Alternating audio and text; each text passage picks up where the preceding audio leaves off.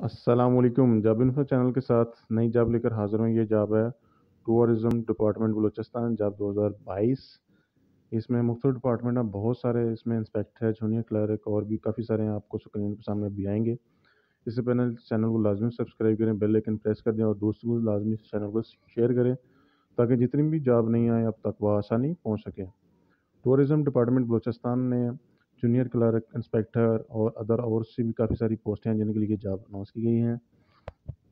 तो इस वीडियो को गौर से देखें स्किप ना करें ताकि कोई चीज़ आपसे मिस ना हो जाए।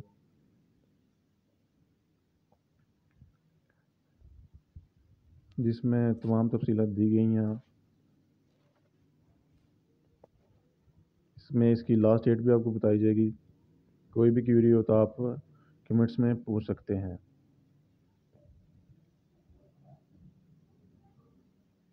इकतीस मार्च को अनाउंस की गई है और इसकी जो लास्ट डेट है ट्वेंटी नाइन अप्रैल दो हज़ार बाईस है।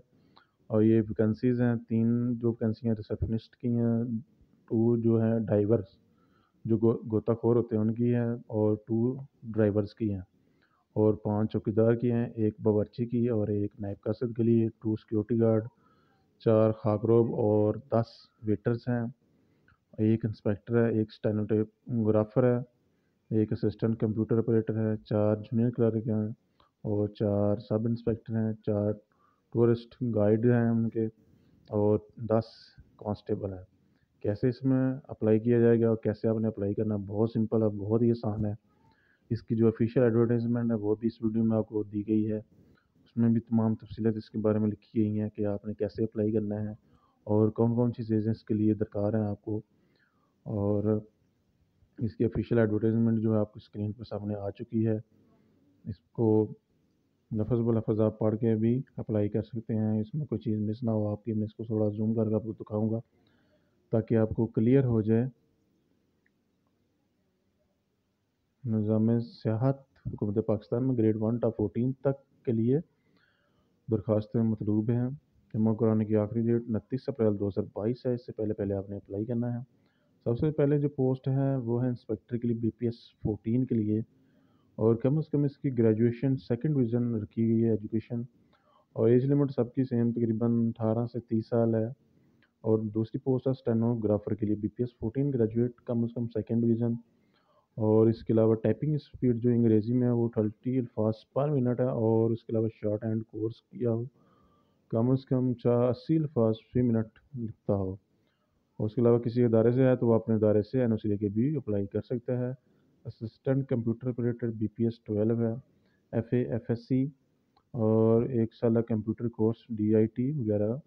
और उसकी टाइपिंग स्पीड तेईस लफाज पर मिनट में जूनियर क्लर्क है। बी पी एस एलेवन के लिए एफ़ एफ़ एस सी है टाइपिंग स्पीड तीस लफाज पर मिनट और कंप्यूटर के बारे में अच्छी महारत रखता हो। Sub inspector B P S eleven के लिए ग्रेजुएट कम अज़ कम सेकेंड डिवीज़न है और एक पोस्ट है, इसकी टूरिस्ट गाइड जो है बी पी एस एलेवन है। ग्रेजुएशन कम कम सेकेंड डिवीज़न है, चार पोस्ट हैं इसकी constable B P S seven के लिए।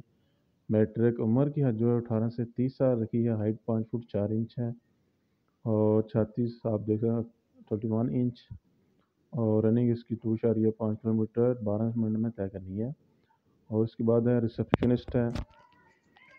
इसकी एजुकेशन मैट्रिक है। गोताखोर है बी पी एस फोर के लिए मैट्रिक है, गोता, तरक्की के बारे में महारत रखता हो उसके बाद ड्राइवर है। ड्राइवर का L T V H T V licence होना ज़रूरी है।